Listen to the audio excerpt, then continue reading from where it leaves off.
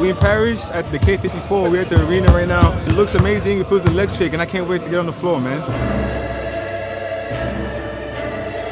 We play physical from the start. We're gonna set the tone.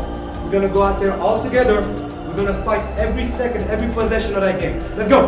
One, two, three.